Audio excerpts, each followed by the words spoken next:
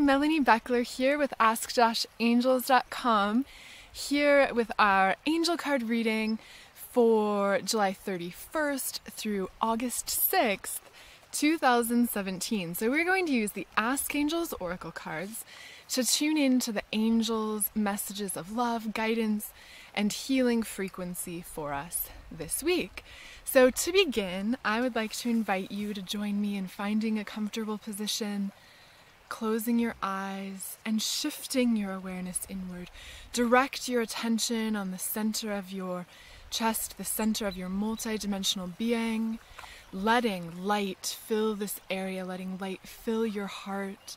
This is your entrance into the angelic realm. Open your heart and enter in through just focusing your attention and awareness on this area of your heart center. And now at this time, I ask that we each be surrounded with divine light, with 100,000 angels, with each of our teams of guides, angels, and ascended masters who can most serve us this week. Please come in and connect with us now as individuals and together as one. Assist me in tuning into your direct messages triggered by the cards we draw from the Ask Angels Oracle. Bring through whatever will most serve us this week according to divine will for the highest and greatest good, and so it is. Okay. Now, I'm just going to ask angels, what do we most need to know this week? What will most serve? I'm now shuffling light into the cards, looking for the cards that stand out. There's card number one, card number two, and our last card, card number three. Okay. So, our first card, which interestingly was in last week's reading as well, enter into the void. This is an interesting week because it's very much a space between surges of light a space between light waves. If you've ever spent time by the ocean or tried surfing or just playing in the waves, you've likely noticed how waves come in sets. There will be a series of big waves crashing onto the shore, and then there's a relatively lull period where there's a gap, a break. And that's what this week is. It's a break between these waves of light, and it gives us an opportunity to rest, to relax, and to dive inward into the void before the next waves come, which will be next week when we start the August eclipse cycle. And so this week, it's very important to take some time to just be to detox from technology and from the stresses of life. As you can see, I am out here in nature, which is beautifully supportive in recharging your energy and refilling yourself up with light. In addition, meditation. I may sound like a bit of a broken record here, but it's really so important to take the time to clear your mind, open your heart and just dive inward to that space of being, that space of stillness, calm, and presence. It's within this space, within the void, that you can access the infinite power of the divine, the infinite possibility of the universe. So, this week, make it a priority to take some time to simply be you may be feeling a bit fatigued or tired already from the intense energies that we've been experiencing. Let this be a cue to rest, to meditate. Yesterday, I was feeling very drained, very tired in conjunction with this energy, and I didn't sleep. I went for a walk, and then I was still feeling tired, and so I meditated. And with that meditation, I had a powerful shift. So, really, the message from the angels for us this week in this card is to get out of the busyness, get out of the chaos, and tune into that point of stillness, peace, calm, that zero point where infinite potential and infinite possibility are available to you. Also, one more thing I notice about this card is this radiant light. And so when you're getting out of your mind and getting into your heart, make a conscious effort to envision your heart light expanding Tune into the space in your heart, the light in your heart, and let that heart light expand out around you. And then tune into the energetic field around your center that surrounds your entire body. And let this field, this space, your auric body, your astral body, your spiritual body, your physical body, your mental and emotional bodies, let all that you are fill up with light from the divine, radiate, shine, and flow that light outward. And that's going to really work wonders in preparing you for next week where the energy really ramps up.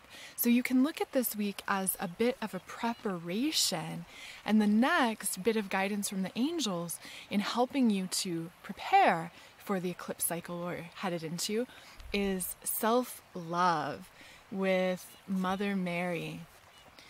This brings the guidance that love is one of the most powerful ways to align yourself with light.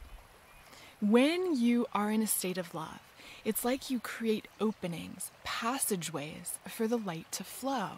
And so when you love yourself, you not only allow light to flow into your body, but that self love multiples out, multiplies out, and allows light to flow into your being from every direction.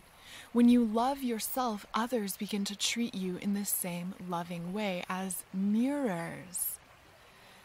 So, love yourself and I'm getting the insight now that this is also talking about letting go. Again, this is a preparation week for the eclipse, so we're looking at all of these cards through that lens. How do we prepare for the next wave of light? Of course, love ourselves. A part of this is time in nature, meditation, entering into the void, and the part of this is letting go. Let go of attachments to things. For some of you, I'm getting the insight that it's going to be very important for you to not only do a spiritual cleanse of your energy and your auric body, but to actually do some cleaning of your home or office. Let go of things. And when you do, that is going to open up an incredible lightness in your life. What are you holding on to? What did other people give you that their energy is still attached to? What possessions do you have that remind you of past experience of lack, of past experiences of challenges? What possessions do you have that remind you you are limited? Let go of these. Let go of the objects that remind you of a past version of you to really create the space to step into alignment with the infinite light being that you authentically are. Another way you can really love yourself this week is to listen to your body. If you're feeling tired, rest. But also, one of the best ways to overcome a feeling of fatigue is to exercise. And so there's a balance in there. If you're really feeling fatigued, go for a walk, get a little exercise, and then take the time to kick back, relax, and meditate. And that combo will help you shift. Get moving, treat yourself well. Also pay attention to what you're putting in your body. I for one have getting been getting the guidance this week to really eat more raw vegan foods, raw foods filled with life force to fuel the body's energy. I've already been vegan, but I eat a lot of cooked foods, and the angels are telling me more raw is going to be more supportive. I'm not saying you need to go raw vegan, this is my personal guidance here, but I am getting the insight to tell you to be mindful of what you put in your body. If you're still putting things like alcohol and junk food and red meat, meat of any kind into your body, that may be having an adverse effect on your energetic level. And so, make it a point this week to just try to eat a little more healthy, drink more water, cut out the alcohol, cut out the fried foods, and you're going to feel a lot better as a result. Our last card for wrapping up this week is to release fear and embrace love. The first thing my awareness goes to on this card is how the angel is holding the earth. And so this is a collective card. On a collective scale, humanity is purging fear. And so you might be tuning into this fear based energies, this anxiety or negativity of the collective that's not even your own. You, of course, may have fears coming up that are your own. Whatever is the case, release that fear over to the angels and into the light. This is going to prepare you for the eclipse where you can tune into a new level of Christed consciousness, stepping into your true royal divine nature as a spiritual being in physical form. To truly step into the highest levels of your light, it's not only lifting in the light and raising your vibration, it's letting go of the things that are holding you back and weighing you down. And fear is one of the biggest ones. And so, if and when fear comes up for you, first of all, make sure that you're in a safe space. If you're in a sketchy situation, take the steps that you need to do to ensure your physical safety.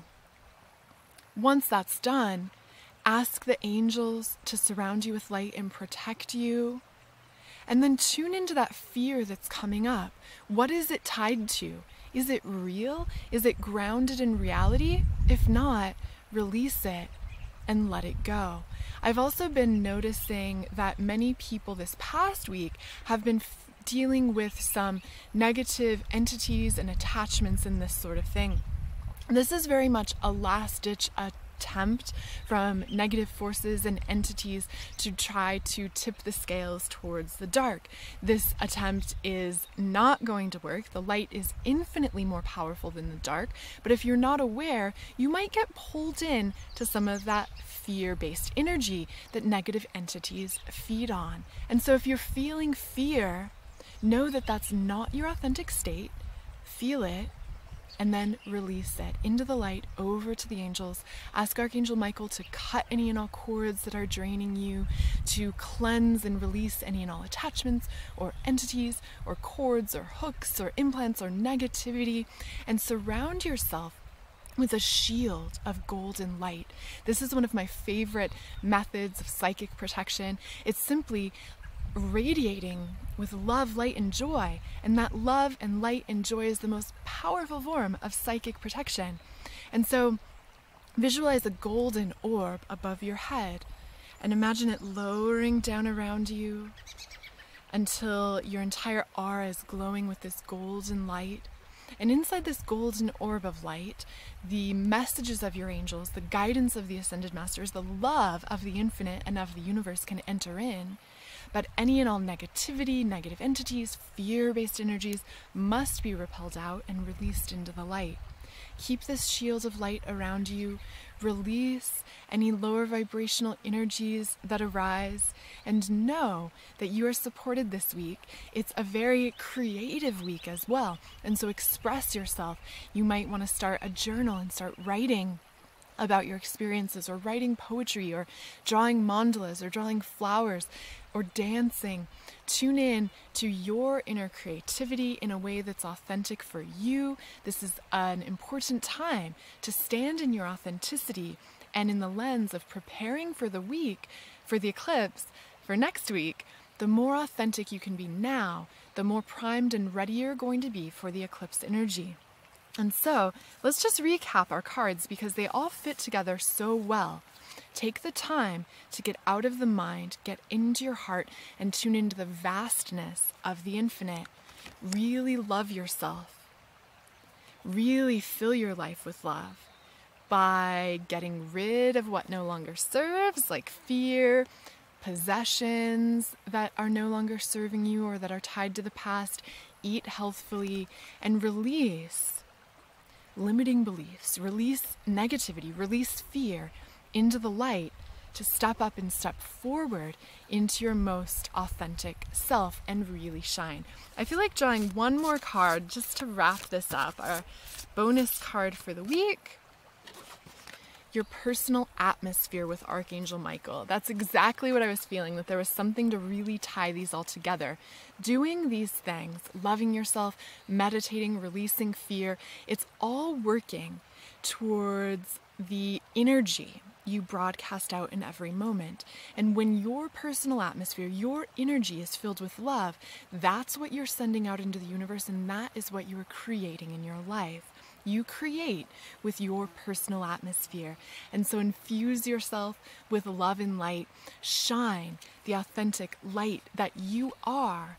And know that this plays a role in you then attracting abundance, attracting opportunities, and attracting blessings on that abundance tip, yes, your action is required, but action is also a part of your personal atmosphere, bringing your thoughts, deeds, words, actions, beliefs, all that you are into alignment with your highest intention and what you really want. And again, if you're feeling stressed, if things are feeling chaotic, enter inward. Breathe and be. Imagine a waterfall of light flowing around you, cleansing away emotional density, cleansing away fear, toxins, and negativity, and allowing your inner light, your heart light, your inner radiance to shine through and expand around you. Keep shining and know that this is the most valuable thing shining your light, standing in your authenticity, choosing love, which attracts more light to you to prepare you for the eclipse cycle, which begins next week, which we will talk about more in our next angel card reading. For now, thank you so much for watching. If you liked this video, please give it a thumbs up here on YouTube.